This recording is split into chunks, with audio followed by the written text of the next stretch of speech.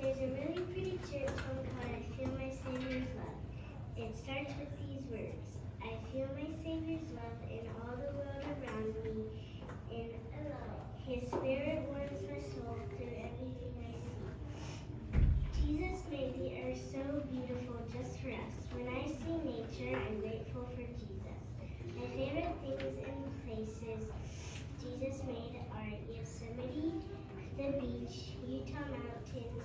National Park in the Grand Canyon.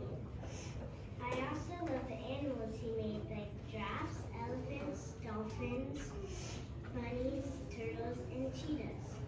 Jesus made a beautiful world for us because he loves us. We should make something beautiful for him. We can make a good life for him by keeping the commandments, being nice to everyone, and sharing the gospel like my brother Caleb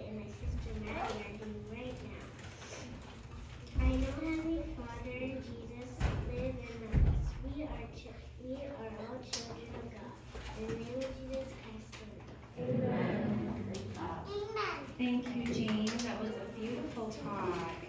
Um, Heavenly Father,